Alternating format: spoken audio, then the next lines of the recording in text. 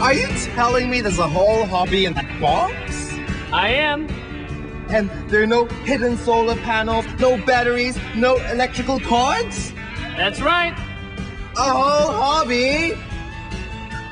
I think you must think I'm stupid. Actually, Gus, I think you're more of a yo-yo. A yo-yo? Cool! so where do we plug it in?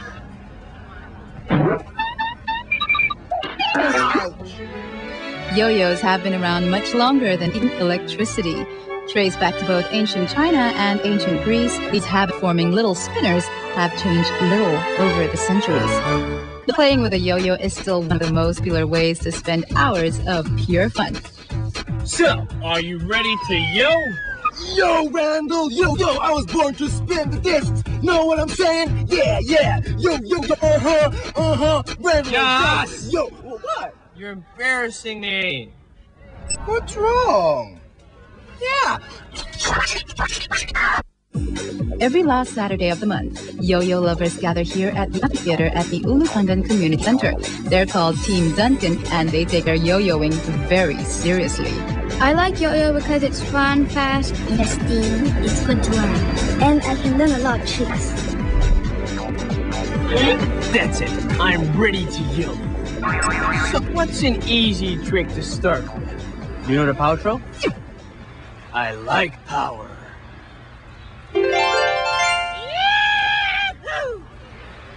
How do you do it? Okay.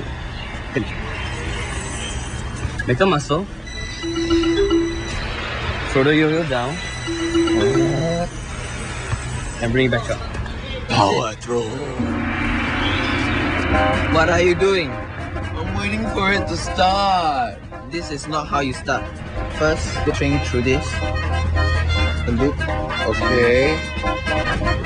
I can't. Put this back. Okay, now put your middle in. And you hold it like that. Your muscle. Throw it down and turn your. Turn your wrist and put it up. Fast. One of the most popular tricks with a yo-yo is called walking the dog. And you don't even have to feed it anything. There are other easier tricks you might get started with. For example, this is called a forward pass, where the yo-yo goes down, out, and then comes right back to your hand. Then, if you want to get even trickier, instead of catching it when it comes back, roll your wrist and the yo-yo will flick out into another forward pass. That's that. Now you're really looping. But one important skill to master is how to put a yo-yo to sleep. Hey, Randall, my yo-yo wants to go to sleep. Got my yo-yo, yo, yo. Hey! In Randall's mouth. If you snap your elbow down as you release the yo-yo out over your fingers, it should stay spinning at the end of the string. That's called putting it to sleep or spinning.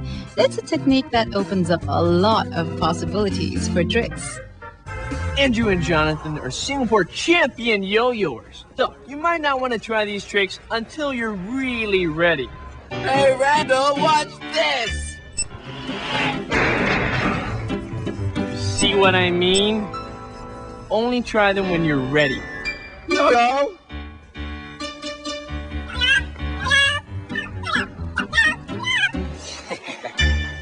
Yo-yo. There's a lot more to yo-yos than just going up and down. With freehand tricks, you don't even attach the yo-yo string to the finger. And there's another category called off-string tricks, where the yo-yo isn't even attached to the string. Randall, I think my yo-yo's broken. Why am I not surprised? Can we pick another one? Mm, okay, sure. Where? Finding the right yo-yo for you depends on your skill level, your taste, and how much you want to spend. There is no best yo-yo. Just try the yo-yo for yourself and see if it works for you. But be sure to try it in an uncrowded place. Sorry, Randall. The string should be able to reach from the area between your belt and navel down to the yo-yo resting on the floor. Hey, my string! And remember to put spare strings.